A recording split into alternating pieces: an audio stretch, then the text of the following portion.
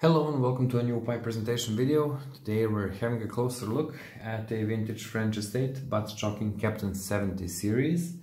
A smooth red finish acorn shape 1631 with saddle stem, wide and shallow as well as a shank.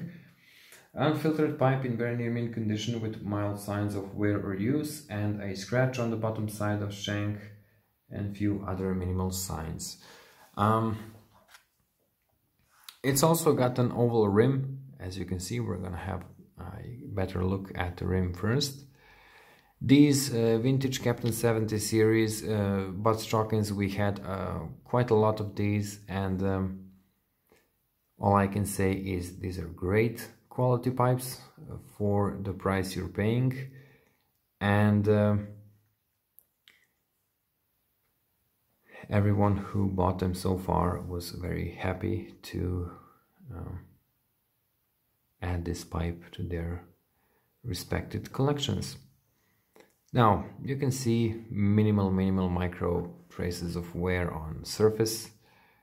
There's the scratch, like a small dent next to this small dot.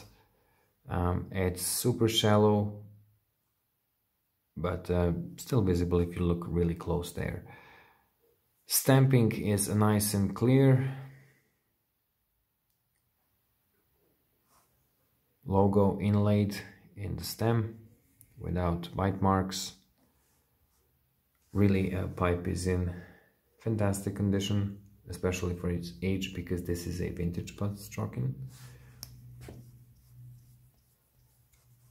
Unfiltered.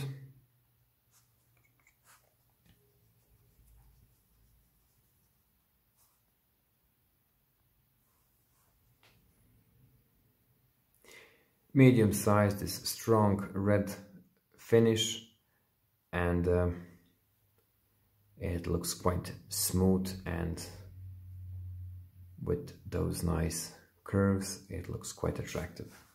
Is it a sitter? It's also a sitter as you can see. Um, that's all for this short presentation. I hope you enjoyed it and uh, see you in the next one